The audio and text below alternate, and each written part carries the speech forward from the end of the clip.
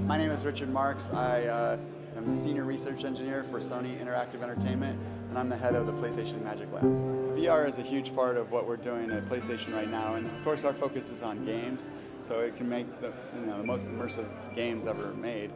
But it's definitely, we're seeing so much uh, uptake in the rest of the world with VR and what they want to do it, apply it to all different things, travel and uh, education, so many different things. And I think it's really neat how much sharing is going on with VR and all these different communities are kind of sharing how VR works and what, what works in VR and what doesn't.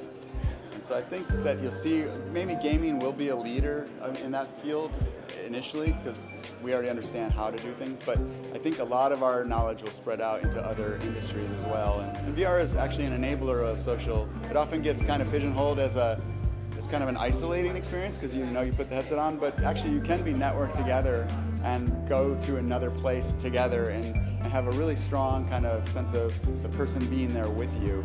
And so it's actually even more social than games that are online now because you can feel like the person's there next to you in a way that there's no real way to achieve on a screen.